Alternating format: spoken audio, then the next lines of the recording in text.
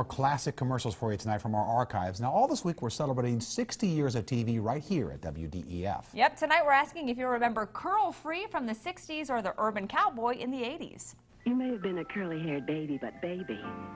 Now, wow, pow! Now there's Curl Free, the hair straightener for girls who really need it. Curl Free straightens hair that's uptight, relaxes it, makes it easy to control so you can get any new hairdo big girl style. If you're a curly-haired baby, get Curl Free, the hair straightener for big girls who really need it. Curl Free. For a Texas accent on a Tennessee beat, take your country western taste to Paul Gray's Urban Cowboy. Bigger than Gilley's and twice as plush. Rick Tabor and Ross Satin make the music. Paul Gray provides the stomping ground, the Urban Cowboy Room. Ferdinand the Mechanical Bull, pool and foosball spark the competition while six bars quench even the mightiest thirst.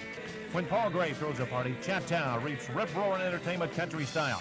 Paul Gray's Urban Cowboy, Lee Highway, taking you off the streets and into a party with a Texas accent and a Tennessee beat.